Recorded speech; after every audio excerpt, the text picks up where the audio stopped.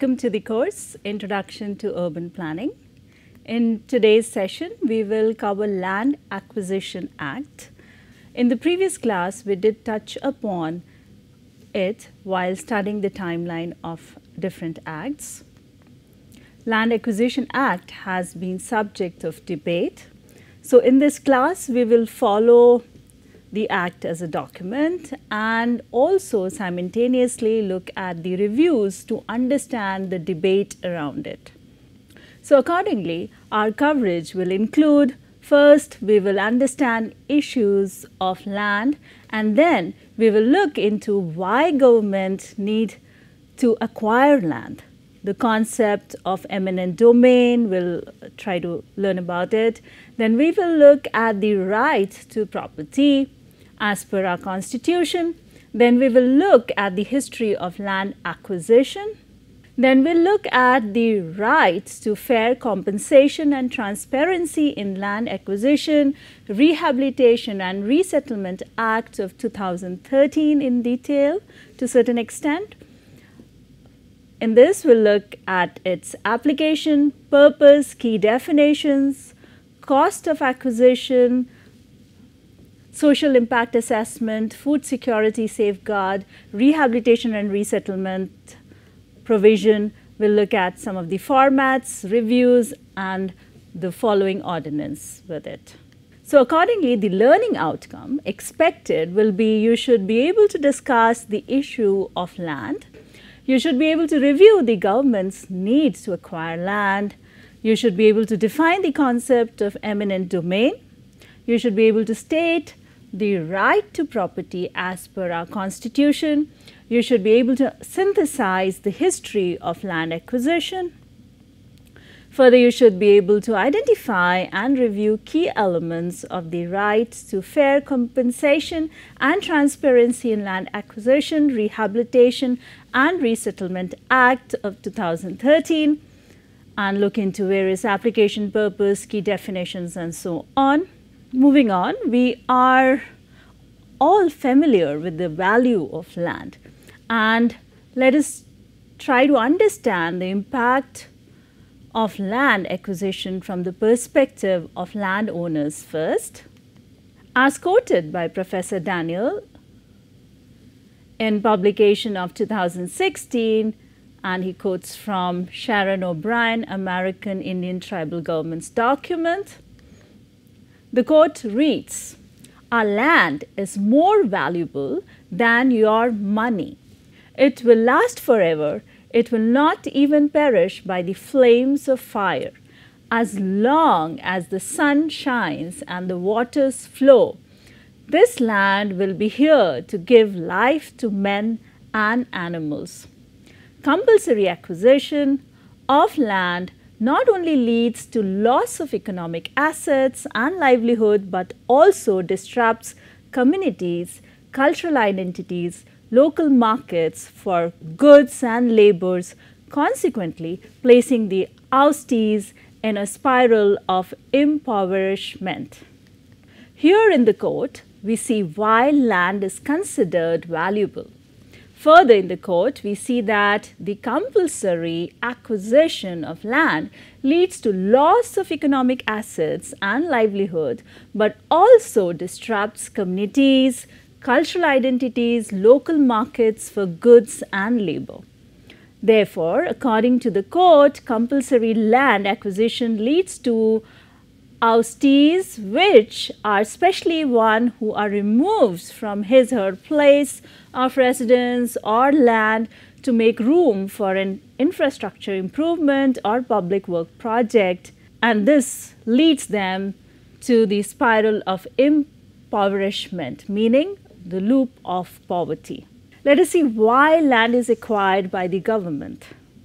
Looking at the Indian landscape, we see most of the land is under agriculture and is occupied. The government, in order to take the developmental work like construction of roads, industries, universities, dams, flyovers, bridges, housing, mines, and so on, requires vast expanses of land. Since land is a limited resource, in order to carry out development work, the government has to acquire land, thereby depriving the existing occupants from its use. This leads to large scale displacement and forced transfer of people from their land. Development is important and so is due process for land acquisition and compensation and resettlement. All these are important aspects. Furthermore, we also see that government acquired land for private parties. Trying to understand why does the government need to acquire land for private companies as well as public private partnership projects? As per the writings of Verma we see one reason given is to ensure benefits for livelihood users if land is purchased, then there are no benefits for livelihood losers, people who lose livelihood because of the transaction of the land, who are usually far greater in number than the actual land owners. This bill ensures that they are taken care of and not simply displaced. Another explanation includes safeguarding the farmers. We see that inequality in terms of bargaining power exists between large scale corporations and small farmers, which increases the likelihood of unfair agreement. That is why the government is required to bridge the gap and bring balance to this relationship. Further author explains we need this intervention for building public infrastructure. We see that a legitimate need is there for acquisition by the state itself to build public goods such as roads, schools, and hospitals. And this can be undermined and stalled by group with vested interests. So this can be hindered. So that's why government needs to come to intervene. If there is no sovereign power to compel these groups, a single individual or group of individuals can hold a process uh, merely by refusing to part with the land. We also look at what does the term eminent domain means. Eminent domain as we see from the United States document as per the Fifth Amendment to the US Constitution, it forbids the taking of private property for public use without just compensation.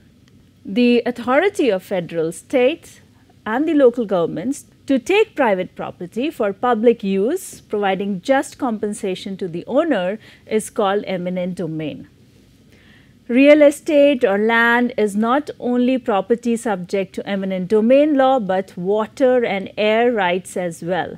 To explore this concept, consider the following eminent domain definition.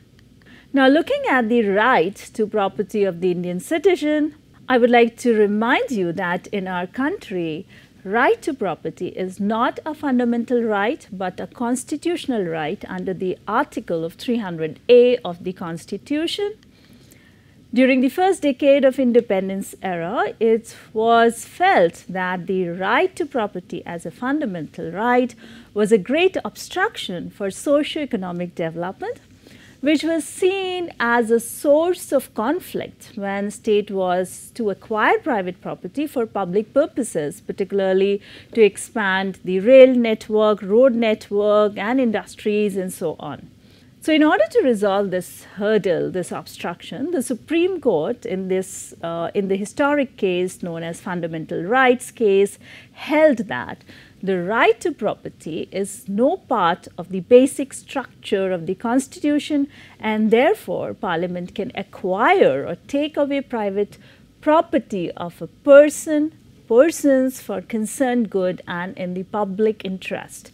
Thereafter parliament passed the constitution 44th amendment which made right to property an ordinary legal right under article 300a so, property right, life of people displayed the need for the nation to industrialize and provide infrastructure for good of the larger population have put land acquisition at core of discussion and debate. Now, looking at the history of Land Acquisition Act, as Professor Daniels review in 2016, the history of land acquisition began with the Bengal Regulation 1 of 1824 to promote British commercial interests. Land for construction of railways was acquired under the Land Acquisition Regulation and finally the first railway came up. The Bengal Regulation 1 of 1824 was replaced by Act 1 of 1850 by which the provision of for land acquisition was extended to Kolkata town, by 1857, various laws on land acquisitions were consolidated as Act 6 of 1857 and it was made applicable to the whole of British India. The 1857 Act was replaced by the Land Acquisition Act 10 of 1870. We further see that uh, Venkat Anand uh, review in 2015 indicates that the 1870 law brought a mechanism for settlement for the first time. So, in this particular law, we see the mechanism came in. It was eventually replaced by the Land Acquisition Acts of 1894. The 1894 law did not apply to princely states like Hyderabad, Mysore, Travancore, who enacted their own land acquisition le legislation Briefly looking at the Land Acquisition Act of 1894 because this was an important act. As per Professor Daniel's review, the act was enacted by British with the definite objective of building infrastructure like railways, post telegraph lines, roads, bridges, canals, communication network and means to transfer their army and weaponry to different parts of the country. Their basic intention was to extend control and further consolidate their rule throughout the country. Hence, land belonging to the rural landowners was acquired under the Act. The ownership and control of the infrastructure and the communication network built after the land acquisition remained completely with the government for utilization in public purpose. Continuing from Professor Daniel's writing, we see that after independence, the process of acquisition of land from farmers for building steel plants, fertilizer plants, defense related plants, and dams continued all for public purposes. Thereafter, the government entered into housing, urban development and industrial sector and resorted to acquisition of land from farmers for developing housing colonies, laying electrical poles and industries. All these activities were for the public purposes.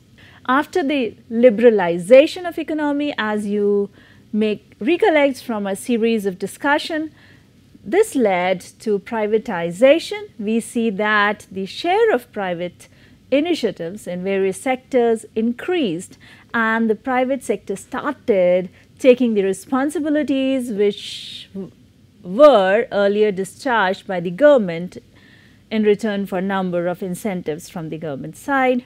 Looking into the drawback of the Land Acquisition Act of 1894, we see that as per the uh, review by Daniel's writing, we see that in the past years, large scale acquisition of land has been made for companies under Part 7 of 1894 Act proposing to use the land for a public purpose. We see that the state government have acquired large tracts of land in rural areas belonging to farmers, rural landowners at low prices in the name of development projects. Later, after changing the land use, land was handed over to private builders of, for construction of multi-storied residential and commercial complexes, industries and so on. So, Professor Daniels Professor Daniel points out that there have been cases where the landowners, farmers were assured of employment generation for their known or in relation, but did not happen. So, this did not happen as they were neither skilled for the job nor qualified for the same. There are reported narrations of farmers being cheated in the name of land acquisition for public purpose as they do not get the market price for their land due to the underrated sale deeds and the government uh, uh, said to be playing the agent for the private players. So, as per his report, we see such kind of narrations coming in. Further, uh, we see Daniel's uh, Daniel makes observation that even if the landowners or farmers receive compensation for the government, it does not provide any monetary benefit to them as the money received as is either wasted or spent unwisely. So you may have noticed about or read about such kind of things where people got money but they wasted the money or lost the money. So uh, we see that there is no agency to counsel these farmers, landowners for proper use for long term investment or management of the money. Many other reviews also indicate that the forcible and excessive acquisition of land in the name of development had destroyed number of families and pushed backward communities further into the margins of poverty we see that the methods of acquiring land under the Dated Land Acquisition Act of 1894 was considered very harsh as observed by many researchers because of the forced nature of acquisition combined with unreasonably low rates of compensation and vested too much arbitrary authority in the state agencies. So, as per the reviews, the Act failed to address some important issues associated with land acquisition, particularly forcible acquisition. Forced acquisitions meaning that under the 1894 legislation, once the acquiring authority has formed the intention to acquire a particular plot of land, it can carry out the acquisition regardless of how the person whose land is sought to be acquired is affected. So, nevertheless, the land would be taken. We further see uh, there were limitation with the definition of public purpose and then there were reported case of very low rate of compensation. Low rate of compensation like as per the Supreme Court observation, it noted that the act has become outdated and needs to be replaced at earliest by fair, reasonable and rational enactment in tune by the constitutional provisions, particularly Article 300A of the Constitution deals with persons not to be deprived of the property save by the authority of law. Then researchers also point out widespread misuse of the urgency clause. Urgency clause, this is the most criticized section of the law uh, of this particular law, the clause never truly defines what constitutes an urgent need and leaves it to the discretion of the acquiring authority. As a result, almost all acquisitions under the Act invoke the urgency clause. This results in the complete dispossession of the land without even the token satisfaction of the processes listed under the Act. According to Professor Daniel's writing, the urgency clause is the most criticized and misused section of 1894 Act. The deliberate misuse of this section, we see 175 by the state government, is a serious cause for concern. This particular Act, 1894, has been referred to as a harsh law by many researchers because the landowners whose land is proposed to be acquired cannot seek ruling against it uh, he she can only file objections under section 5a6 against the proposed land acquisition which is a basic right to the landowner under the principle of natural justice audi alteram partem. As per the author, there have been number of cases where various state government have acquired land by misusing the provision of the section of the urgency clause. Under the provision the state government may direct the provision of section 5a shall not apply and take away the basic rights of the landowners to file his her objections.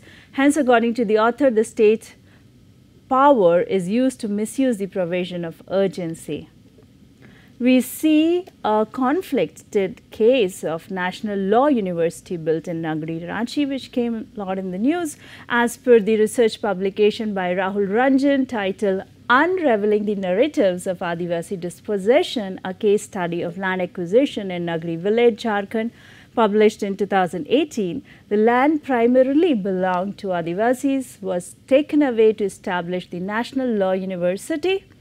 The conflict in Nagri surfaced on November 2011. Government of Jharkhand asserted eminent domain over 227 acres of fertile cultivated land under the emergency clause of Land Acquisition Act of 1894, the narratives of the displaced people indicated no compensation or absence of any alternative arrangement for the resettlement. The official narratives establishes that the land was transferred in 1957 and therefore the disputes seem fallible and immaterial.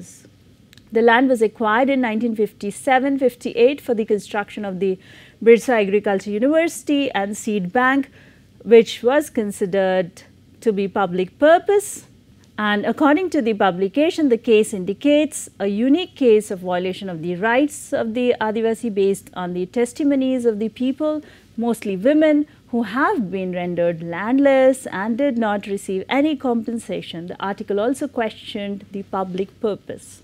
Then the researchers also point out lack of transparency in the acquisition process, participation of communities whose land is being acquired, there was no safeguards, there was no real appeal mechanism to stop the process of acquisition in the act, there was no provision for rehabilitation and resettlement package.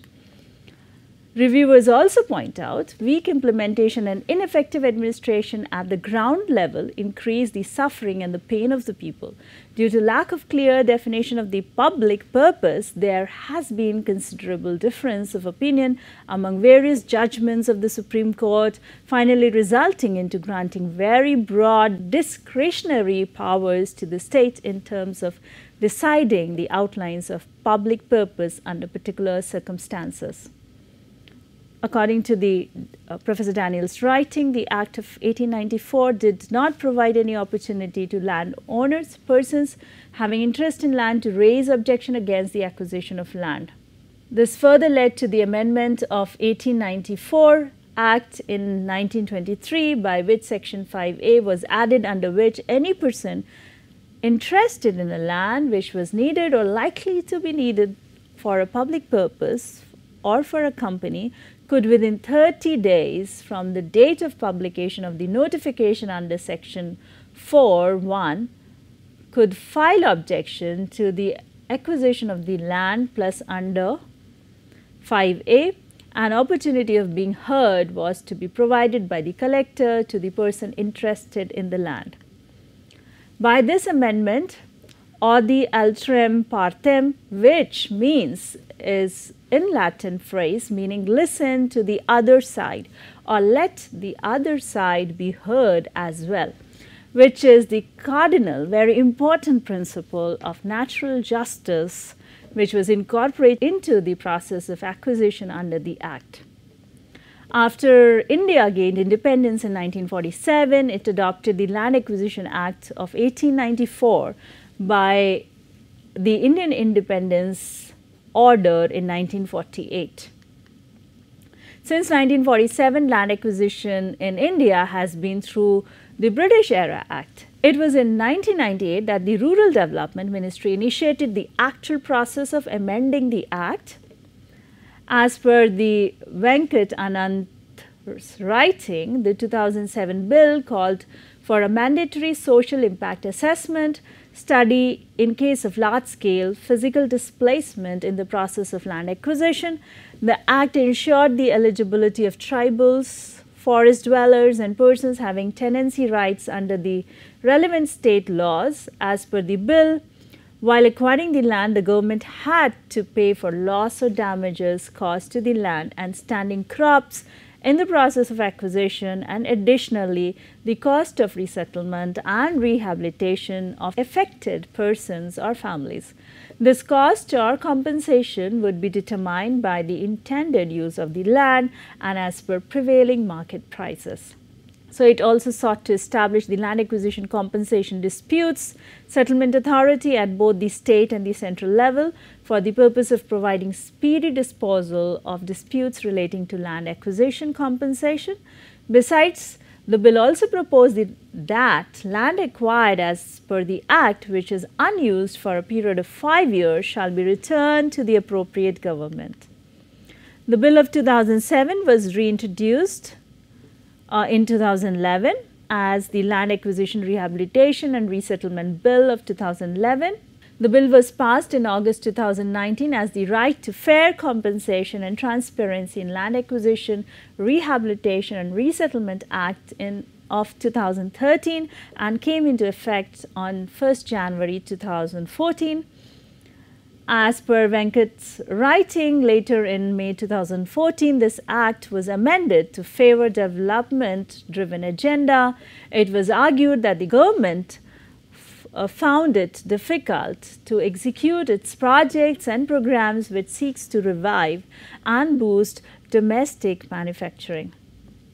Under the proposed 2015 bill, there will be five categories which will be exempted from certain provisions of previous act uh, of 2013 including consent for acquisition. They are national security and defense production, rural infrastructure including electrification, affordable housing for the poor, industrial corridors and projects under public-private partnership, so where the land continues to vest with the central government. These categories are also exempted from the SIA social impact assessment provision as provided uh, for in 2013 Act. 2013 Act facilitated land acquisition by private companies which the 2015 bill has changed to private entities. So, we see that kind of restriction coming in. Further, we see in uh, the 2015 version also removes restriction on the acquisition of land for private hospitals and private educational institutions. The Central Act of 2013 was brought to give effect to the pre-existing fundamental rights to livelihood of citizens. It ensured that livelihood will not be taken away unless it is in the public interest and that is seen by a social impact assessment. Uh, these things have to be ensured in the provision. Let us walk through the key provisions of, uh, uh, of the right to fair compensation and transparency in land acquisition, rehabilitation and resettlement Act of 2013. The Act states to ensure in consultation with institutions of local self-government and Gram Sabhas established under the Constitution, a humane, participative, informed and transparent process for land acquisition for industrialization, development of essential infrastructure facilities and urbanization with the least disturbance to the owner of the land and other affected families and provide just and fair compensation to the affected families whose land has been acquired or proposed to be acquired or are affected by such acquisition and Act makes adequate provision for the affected persons for their rehabilitation and resettlement for ensuring that the cumulative outcome of the compulsory acquisition should be that affected persons become partners in development leading to an improvement in their post acquisition, social and economic status and for matters connected therewith or incidental thereto. Looking at the application of the Act, now we'll look at how where does the Act apply. As per the Act, provision of this Act concerns land acquisition, compensation, rehabilitation and resettlement when the appropriate government acquires land for its own use hold and control including for public sector undertakings and for public purpose. Looking at the purpose of the Act, we see that uh, the Act is applied for strategic purposes related to naval, military, air force, armed forces of the Union, including central paramilitary forces or any other vital to national security or defense of the country Further, we see it is used for the purpose of infrastructure projects under which all activities or items listed in the notification as per the Government of India and uh, we see that infrastructure such as private hospitals, private educational institutions and private hotels are excluded, were excluded from this. however, which have been uh, amended after the ordinance of 2015. We see that uh, infrastructure projects such as involve uh, projects involving agro processing, further we see projects for industrial corridor or mining activities, national investment and manufacturing zones, they all come under infrastructure projects.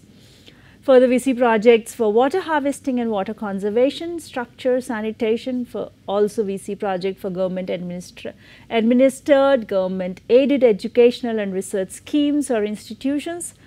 Projects for sports, healthcare, tourism, transportation or space program. We also see any infrastructure facility as may be notified in this regard by the central government and after tabling of such notification in the parliament.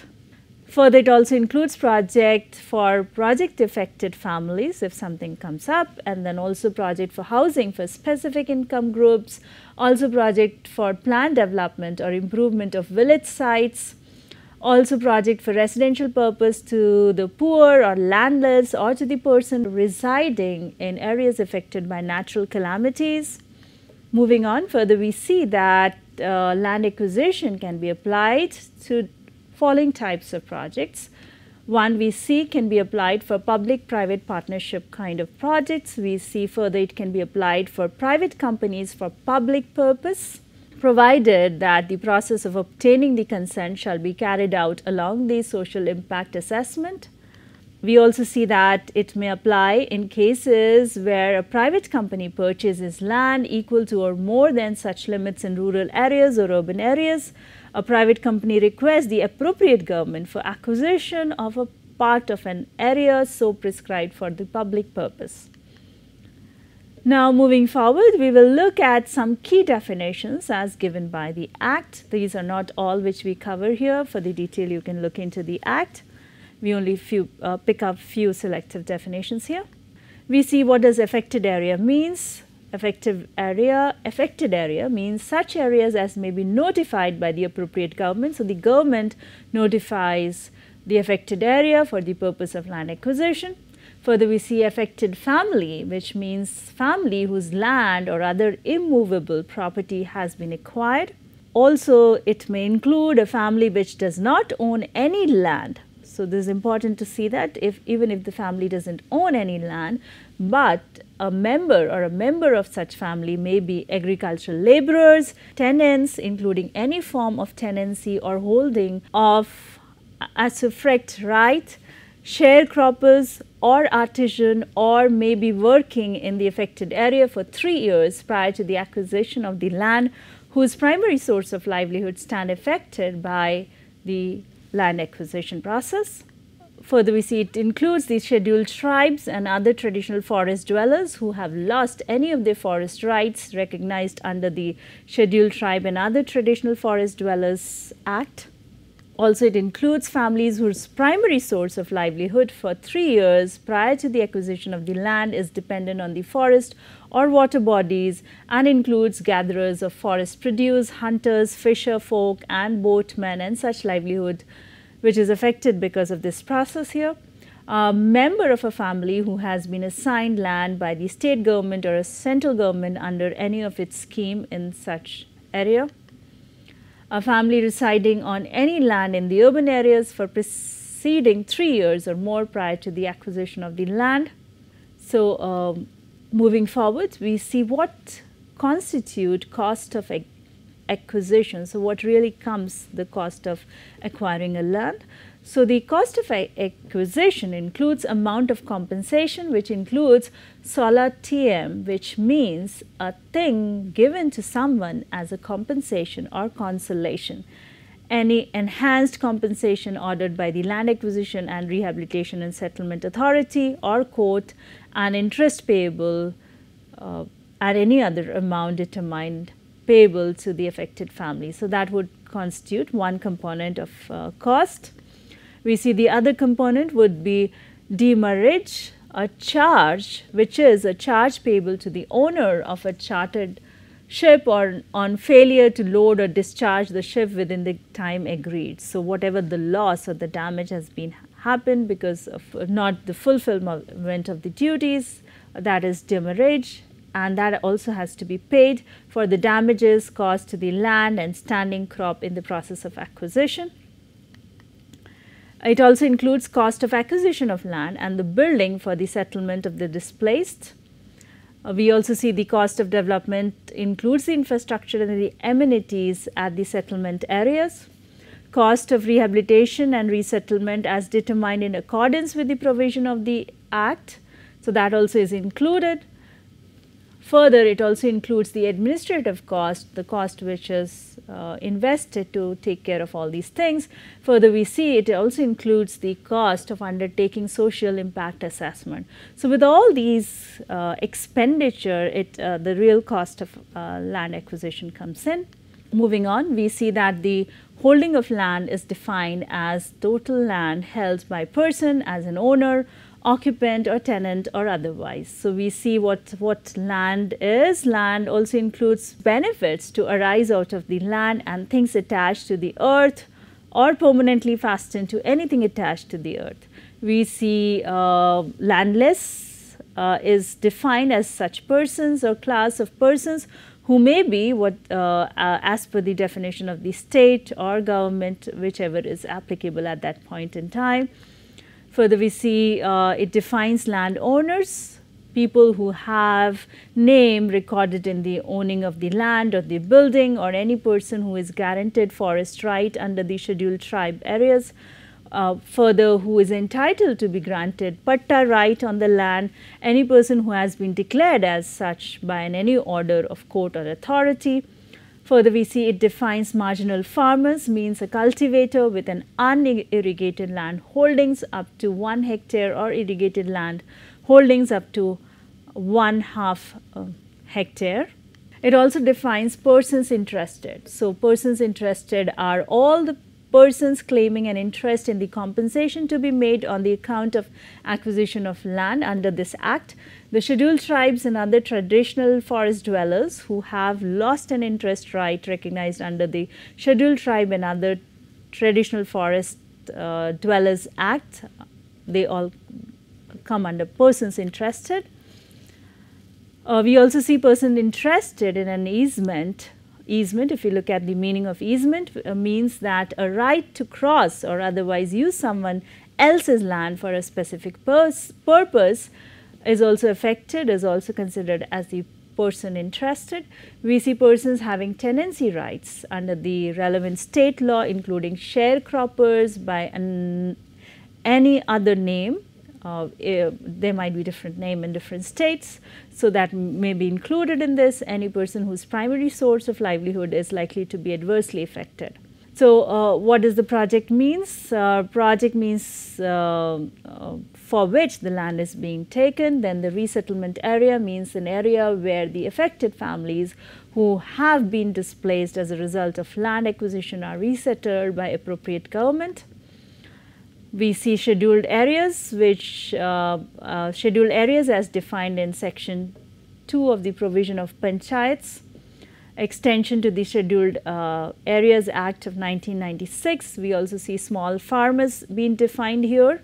So, we saw some selective definitions from this act. It is uh, liable to change time to time as per the prevalent state or central government law.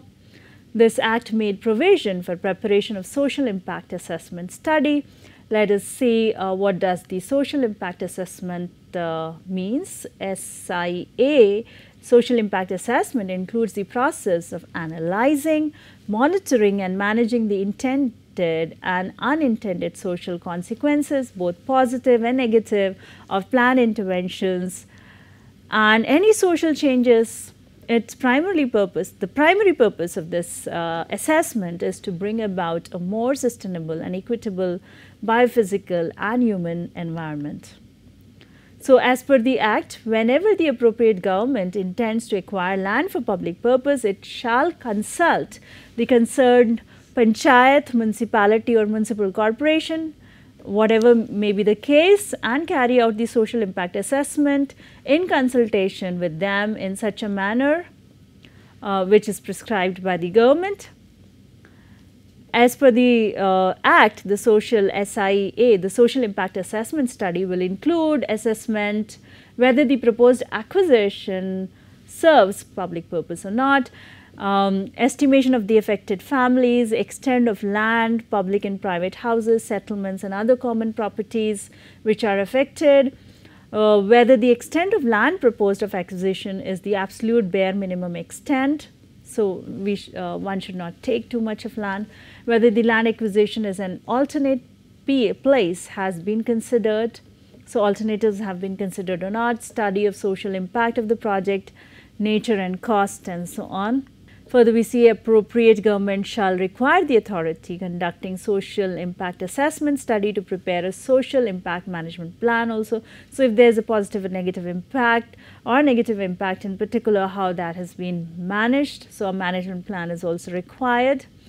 There would be public hearing for social impact assessment and particularly at the, at the affected area to ensure the views of the affected families have been recorded and included in the SIA report. Uh, as per the Act, SIA needs to be published. The Social Impact Assessment Study Report and the uh, Social Impact Management Plan are to be prepared and made available in the local language, not in English or any other language, but in the local language to the panchayat, municipality or municipal corporation. Moving on, we further see that one of the key feature of the Act is uh, that it provides safeguard for food security. In order to ensure safeguard for food security, the Act specifies that no irrigated multi-cropped land shall be acquired under this Act. Such land may be acquired subject to the condition, there is a condition that it is being done under exceptional circumstances as a demonstrable last resort. So, uh, we may see that it lays uh, several uh, criteria under which the food security has to be ensured.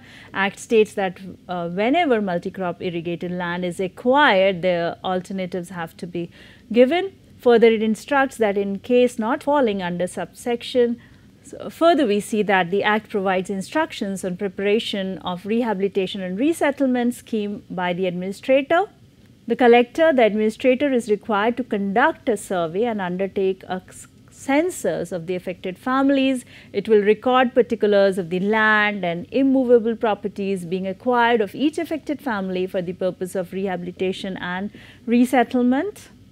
Administrator shall also record livelihood lost, uh, uh, administrator would also list public utilities, government buildings. It would also take care of the detailed amenities and infrastructure facility and also any common property resources which have been acquired.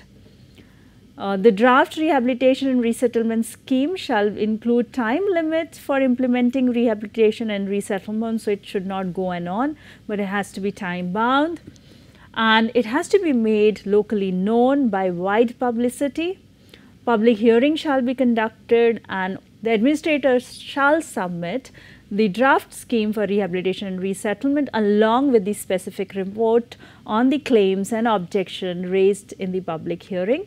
Further detailed procedure to be followed like there are details given in the act uh, which some of them include approved rehabilitation and resettlement scheme to be made public and then it has to be published and so on. Uh, the Act also specify the award.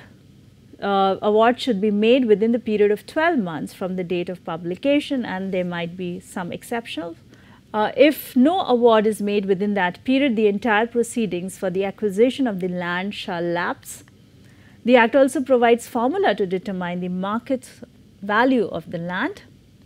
Act also provides instruction on calculation to determine the amount of compensation we also see there are parameters given for how to calculate the amount of compensation uh, depending on the market value and then the damages uh, sustained by the people uh, as well as um, uh, any other consequences of acquisition and also based on the um, any kind of loss of the profit uh, because of the acquisition any kind of loss to the profit of the land so, based on these parameters given, um, the award of uh, the compensation is determined plus one also need to take care of the award of solatium, compensatory fees which is given.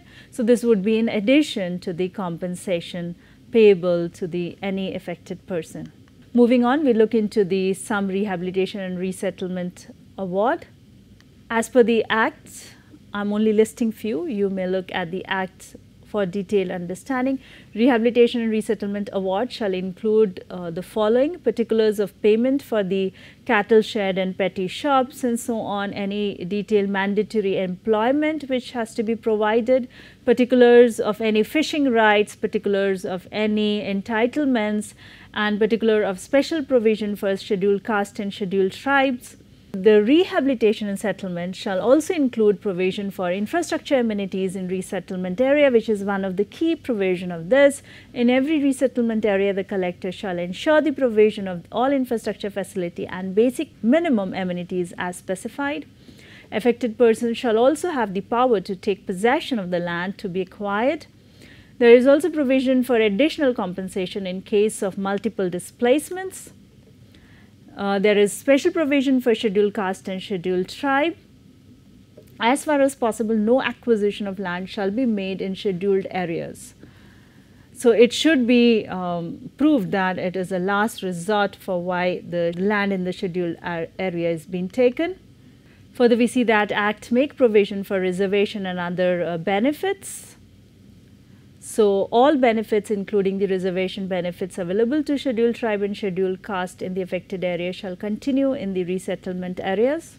Moving on, we see that the Act also makes provision and instructions on temporary occupation of waste or arable land. The Act provides formula for compensation calculation as seen in the image. So, these are all the formats given for how the calculations have to be done. Looking at the main features of the right to fair compensation and transparency in the Land Acquisition, Rehabilitation and Resettlement Act of 2013, uh, we see that you have already uh, already walked through the act. You see that it defines various uh, types of public purpose. Further, it makes provision for prior consent. Uh, likewise, it makes um, uh, proposes the payment of compensation uh, and there are uh, criteria for that as well as we see that uh, review indicates that this is the very first law that links land acquisition act and the accompanying obligations for resettlement and rehabilitation. So, it brings rehabilitation, resettlement and rehabilitation. Uh, it also has provision for retrospective operation in order to address historical injustice. The bill applies ret retrospective Viti to cases where no land acquisition award had been made earlier. Further, it also talks about share in the sale of acquired land uh, increase. Uh, it also talks about the income tax exemption. There is a strict restriction on the multi-crop acquisition for the food security purpose. Further, we see that for the food security purpose, it also gives fishing rights and other thing. Uh, it also emphasizes the time bound social impact assessment and also the appraisal of social impact assessment. Looking at the limitation of the act, even this the researchers have reviewed this and the limitation include uh, the researchers point out the act leads to delay. Because of this such a tedious process it leads to delay. There is no binding recommendation of the expert group so whatever recommendations they get they can be ignored uh, there's a vague meaning, still there's a vague meaning to public purpose. We see that there's a lack of monitoring system and then still there's prob problem of poor implementation of the acts by the state. We uh, see that researchers also point out that uh, uh, regarding the determination of the market value is still a challenge and there's also challenge uh, lacunae in the temporary acquisition as well as prior consent. We further see that there has been dilution of the Act soon after it was enacted on January 1st, 2014. The government diluted the Act through, the, through an ordinance later in 2015. The reason was that the new Act was cumbersome, time consuming and cost escalating, making its implementation difficult. The ordinance also makes the process of acquisition simple so, uh, we see that the states have modified the act, the states have found it difficult to acquire land for industries. So, states have tweaked the legislation to make land acquisition a quick and easy process. So, there are further uh, uh, discussion on the limitations of this act which has uh, which talks about reducing the notice period of public hearing and so on and uh, other conflict of interest. Uh, summarizing, we discussed the issue of land. We looked at uh, we reviewed uh, government's need to acquire land. We defined concept of eminent domain. We looked into the uh, rights to property as per our constitution. We looked into the history of land acquisition. We identified and reviewed key elements of the 2013 Act. So uh, that was what we covered today. The key references uh, we have listed here and there are all suggested reading here. That's all for today. Thank you.